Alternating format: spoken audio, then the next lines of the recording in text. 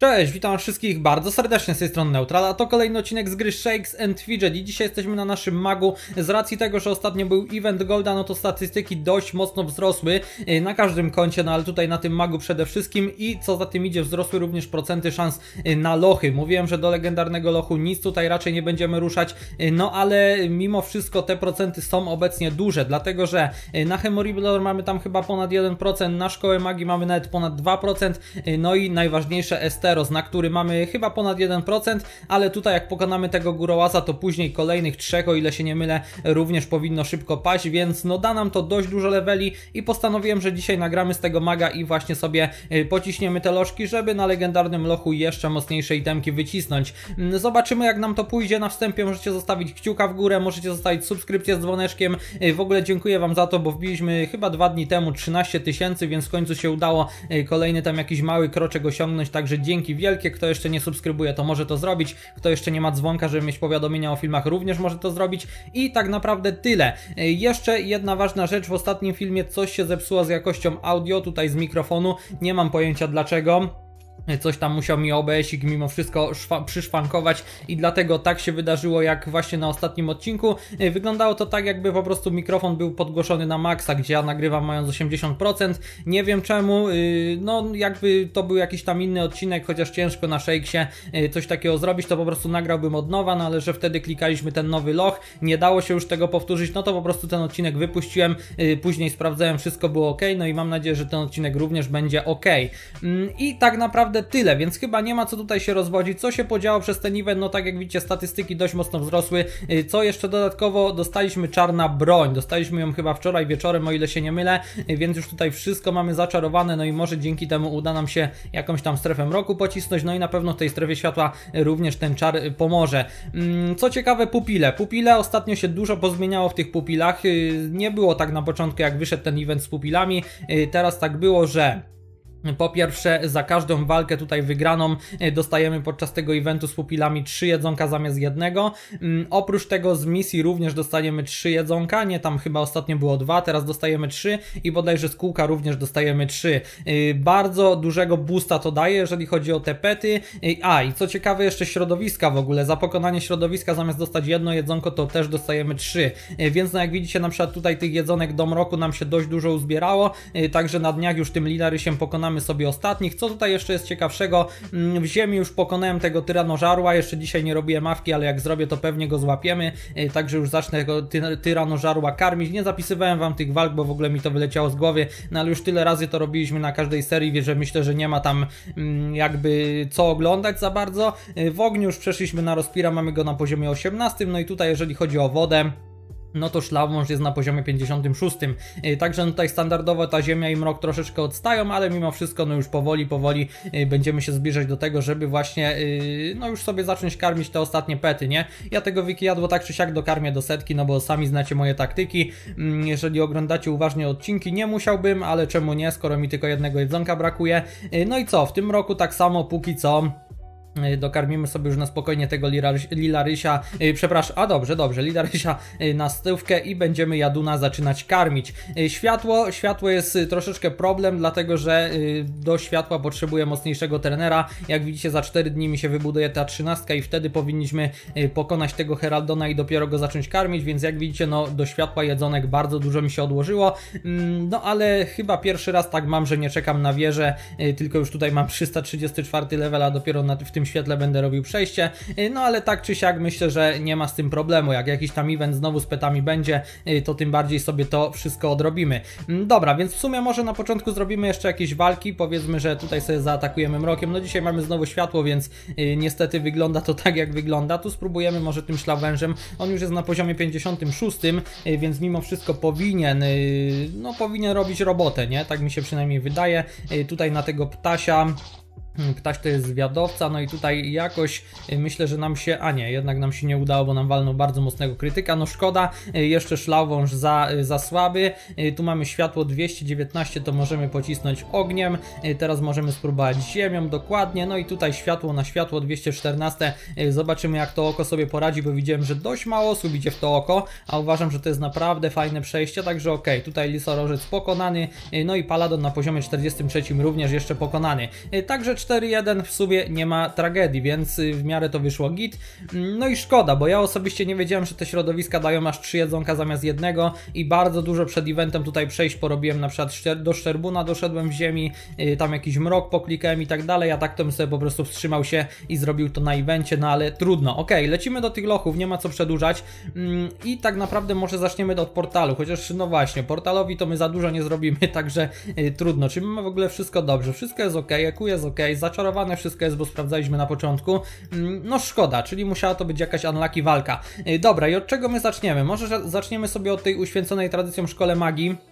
Dlatego, że to y, da nam, wydaje mi się, że no w sensie to powinno paść najłatwiej według kalkulatora, no i generalnie jakieś tam fajne expiki za to dostaniemy. Y, Standardowo nie robiłem, tak jak mówię, jeszcze awki ani nic, bo po prostu dzięki temu wbijemy y, jakieś tam levele, no i dopiero wtedy tą mawkę na wyższym poziomie będzie warto robić na tym etapie.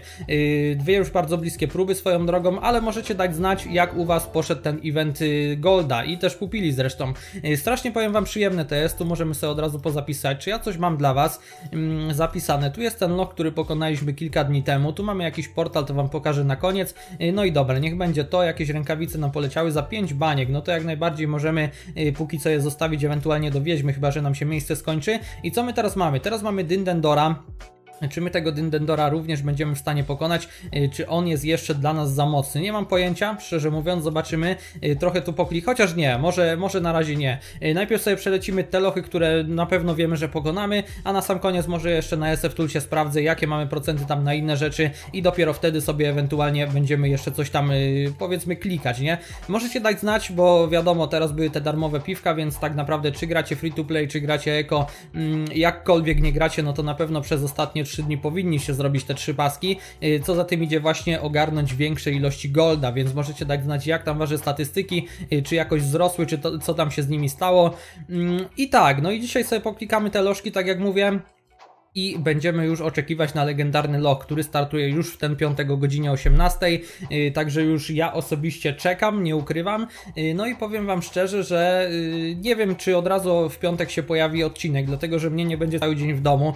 O 18 to wystartuje. Jeżeli nie będzie problemu z serwerami, to ja może wrócę i po prostu to nagram. A jeżeli by się nie udało, no to niestety będę musiał czekać na jakoś tam w weekend też raczej będzie ciężko z czasem, więc nie wiem kiedy Wam nagram z tego lochu, ale liczę na to, że po prostu w piątek jakoś tam na wieczór wrzucę Wam odcinek, yy, taki pierwszy rzut oka, jak ten legendarny loch się zmienił, co tam będzie ukryte, yy, co tam, jak to generalnie wygląda. Dobra, yy, tego mamy pokonanego i zobaczcie, mamy pasek za 5 banek, nie, baniek, niestety nie jest to epic, ale mimo wszystko mm, oddajemy sobie do Wiedźmy, no i mamy 10 banieczek w jakąś tam statystykę możemy wrzucić. Jeżeli chodzi o moje podstawy, to Was może w sumie ciekawić, yy, 3300 w inteligencję i 3205 w wytrzymałość. Mm, Póki co lecę w tą wytrzymałość, niby już mogłbym ale w sumie y, chyba sobie dobiję do momentu, gdzie ona będzie kosztować po prostu 10 milionów za statystykę, y, no i później się będziemy głównie skupiać właśnie na inteligencji, no bo jednak na tym magu mm, ta, to HP nie jest póki co aż tak istotne, lepiej tutaj machnąć jakąś mocną bułę, y, także zobaczymy jak to będzie wyglądać. Dobra, Hemoridor pokonany.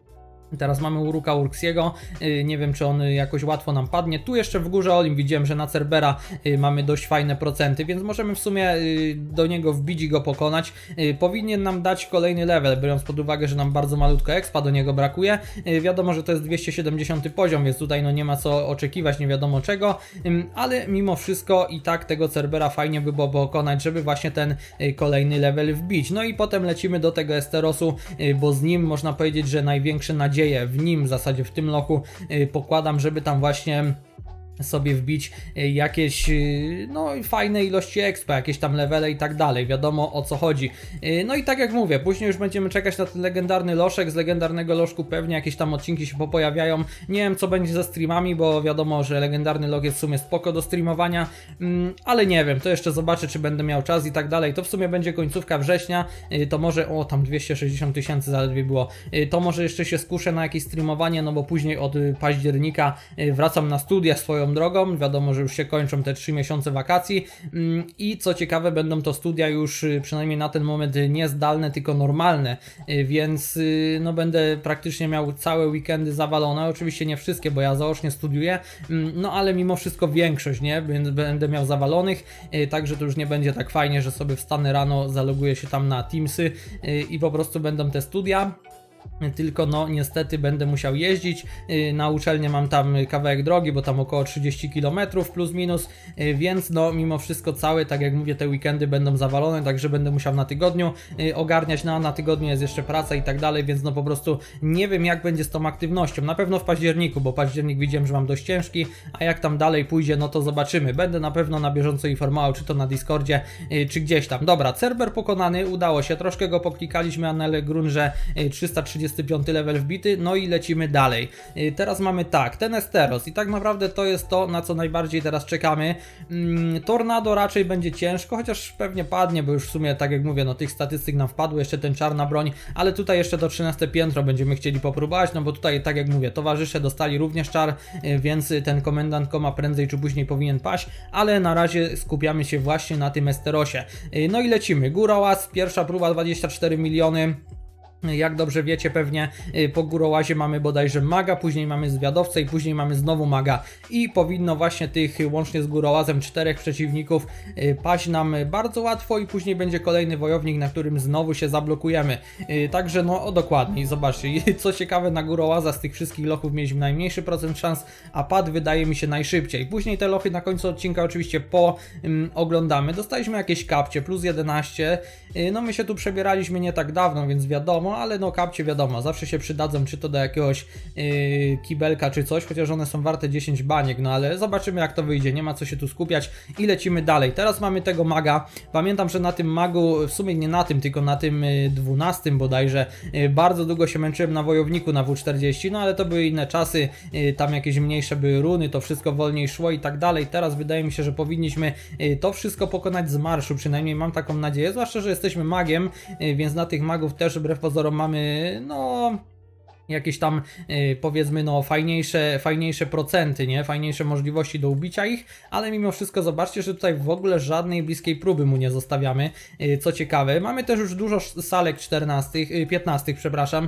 yy, w gildii, 27, więc no te czarne gemy jak widzicie już jesteśmy cali ubrani. Yy, oprócz tego Kunegunda również jest tu prawie już cała ubrana, brakuje jej tylko trzech. Kuneguncie wiadomo, wrzucam jakieś małe, średnie, byleby ona miała, na siebie zakładam tylko i wyłącznie duże, no ale tak jak mówię, teraz już leci ich bardzo, bardzo dużo, y, bo przez ostatni czas dużo w tej gildii nam wleciało. Mm, troszkę tu zaczęliśmy znowu przegrywać. Ostatnio jak nagrywałem odcinek, to się chwaliłem bodajże, że byliśmy trzecią gildią na serwerze y, i faktycznie tak było. Przez jakiś okres czasu byliśmy trzeci y, i pod względem średniego levela zresztą cały czas tak jest, no ale Niestety tutaj yy, wygraliśmy chyba ze 3 albo 4 ataki tutaj na Halls, yy, później zaczęliśmy przegrywać, więc nie mam pojęcia dlaczego tak się wydarzyło, yy, bo żadnych zmian tam nie było, głównie chyba nasza frekwencja w gildii zawodziła, y, bo mieliśmy po 45 osób w atakach, no a wiadomo jak są takie bliskie gildie, y, no to jednak każda osoba robi jakieś tam y, coś w tych walkach, nieważne jaki to by był level, więc no niestety kilka przegraliśmy, no i znowu spadliśmy w tym momencie na tą piątą pozycję, no ale mimo wszystko i tak myślę, że jakoś tam prędzej czy później odrobimy i na tą trzecią lokatę sobie wskoczymy, y, co jak na taki serwer, no to jest fajnym, fajnym y, wyróżnieniem, tak mi się wydaje, biorąc pod uwagę, że jesteśmy w 100% y, polską gildią, z jakimiś tam małymi wyjątkami z tego, co się orientuje. Chyba Kalid nie jest Polakiem, z tego, co kojarzę. I chyba kogoś tu jeszcze mieli, a no i Fifko, wiadomo, Fifko jest Czechem, no ale generalnie, tak jak mówię, mimo wszystko ta gildia jest w 100% polska, więc nie idzie to wcale tak źle, jakby się mogło wydawać. Dobra, no klikamy tą Jeffrey, Powiem Wam, że myślałem, że ona padnie od buta, a tutaj zobaczcie, że jakieś problemy y, niestety na nią są. Mm, no i co? I może szczerze, skoro już i tak jestem zalogowany na naszym tym, kalkulatorku, y, to ja sobie wejdę, żeby jej tu bez sensu nie klikać, tylko po prostu zobaczymy jakie faktycznie mamy na, na nią procenty. Y, pewnie mnie zaraz wyloguje. Kto w ogóle nie wie jak się zalogować do kalkulatora, jak sobie sprawdzać, kilka dni temu wyszedł odcinek, gdzie tłumaczyłem to wszystko, on tam trwa chyba y, z 10 minut, więc po prostu sobie możecie wbić, bo wiem, że zaraz pojawią się pytania. Dobra, zeskanowało nas, mamy, w sumie to dużo się nie różnimy, nasza postać od tego, co skanowałem przed odcinkiem, ale mimo wszystko dobra, zobaczymy. Mamy tutaj naszego maga, mm, no i mamy, y, co my tu mamy? Esteros. No nie są takie fajne te procenty, powiem wam szczerze. Y, na szkołę magii mamy 0,38%, na Esteros mamy 0,34%, mm, na 13 piętro w mroku również mamy 0,34%, więc no te procenty y, znowu są bardzo malutkie, no ale ten Esteros kurczę chciałbym pokonać.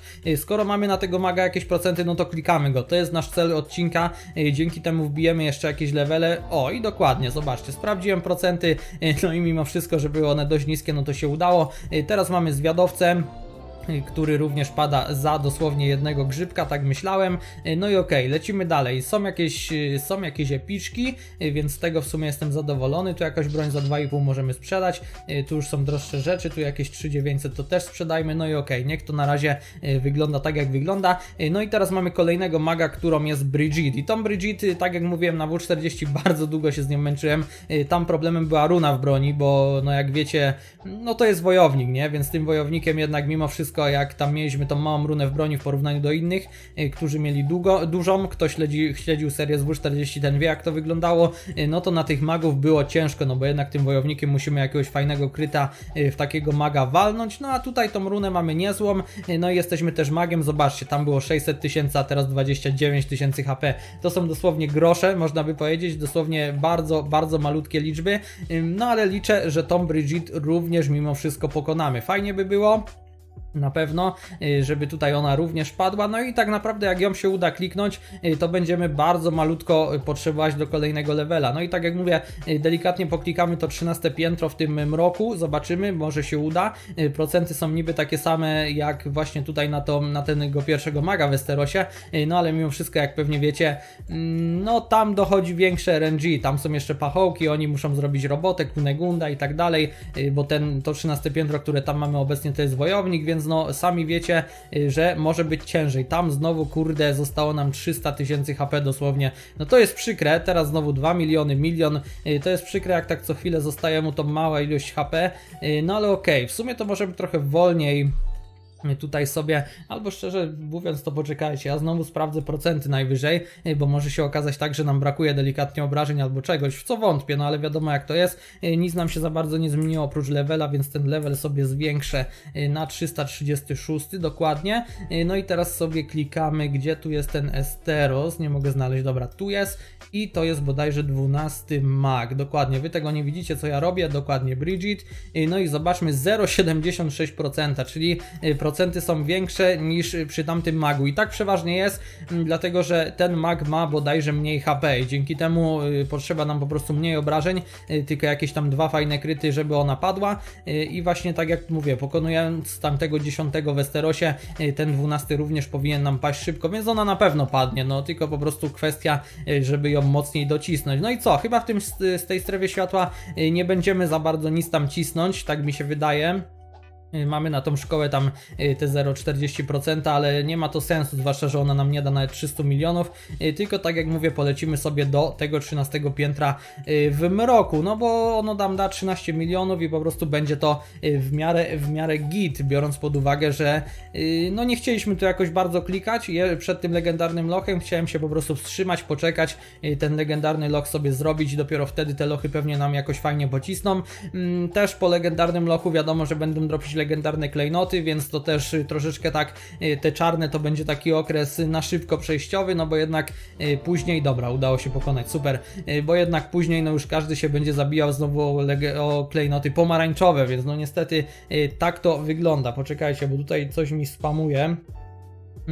A dobra, myślałem, że to coś ważnego, ale nie. Jakieś tam trzy maile dostałem i okej, okay, mamy pokonanego kolejnego. Zobaczcie, no te epiki nam lecą dość słabe, plus 14, y, no ale nie ma co się dziwić, jak nie tak dawno się przebieraliśmy, okej. Okay. I teraz tak, no dobra, jedno miejsce może w sumie zostać, niech będzie. Y, my tu w ogóle jeszcze mamy arenkę, za 40 minut jest kupiec, ja mam ustawionego, ustawiony budzik, ale to już po odcinku na spokojnie sobie kupię.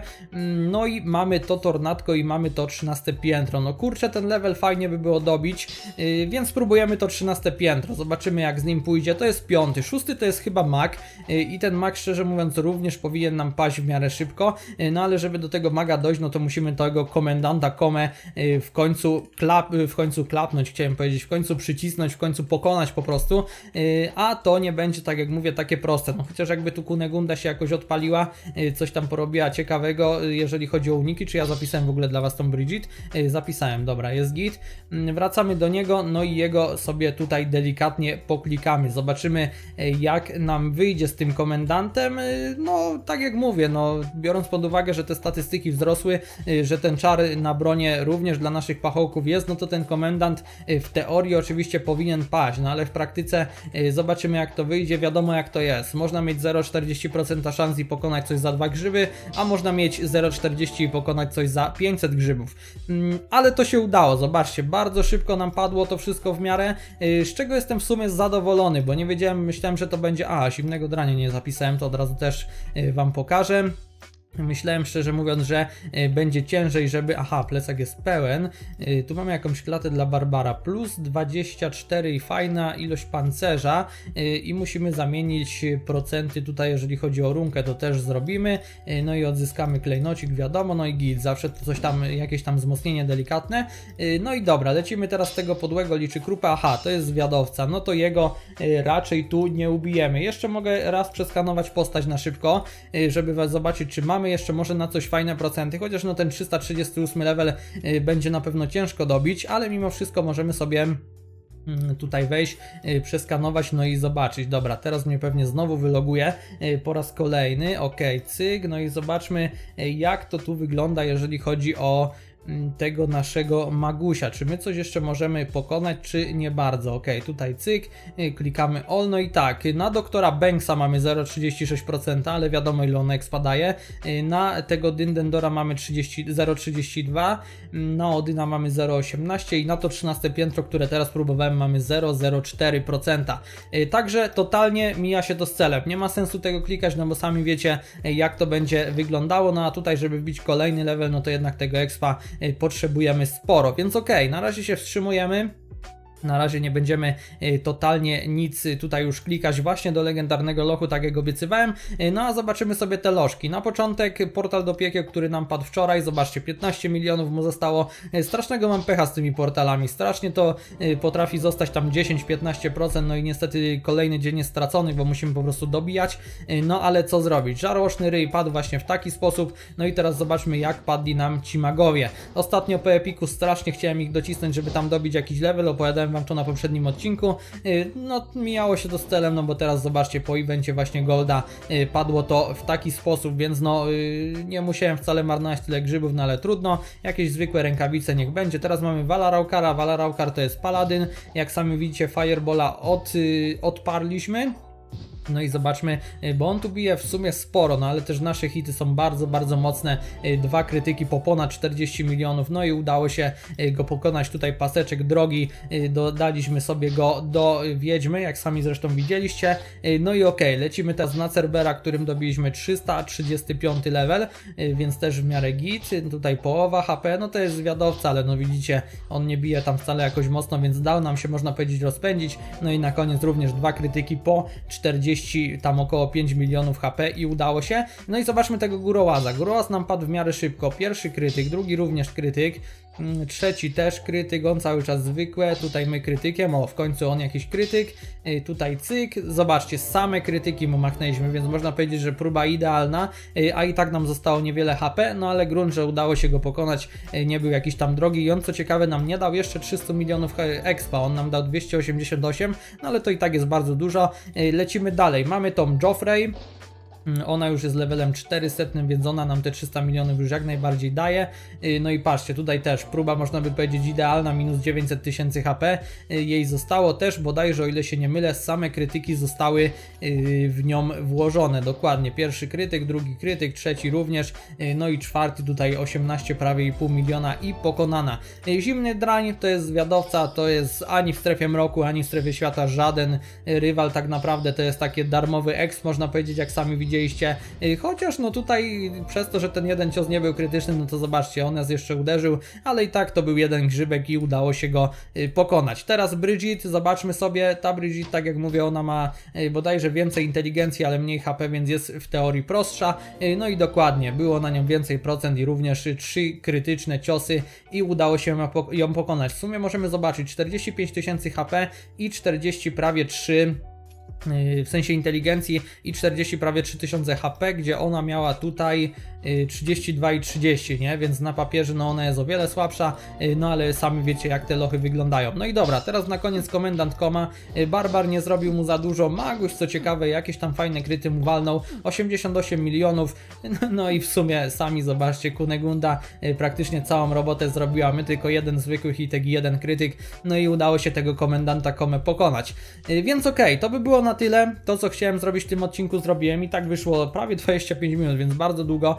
Mm, Ja Wam dziękuję za uwagę, dziękuję Wam za oglądanie. Pamiętajcie o zostawieniu tego kciuka w górę, pamiętajcie o subskrypcji z dzwoneczkiem i pamiętajcie o zostawieniu jakiegoś komentarza. Yy, To będzie mi bardzo miłe, jak sobie to poczytam. Yy, I tak jak mówię, no teraz na tym magu się wstrzymujemy i czekamy na legendarny loszek. Natomiast jeżeli chodzi o inne postacie, yy, to myślę, że coś tam pokombinujemy na dniach, coś tam jeszcze spróbujemy docisnąć i tak dalej.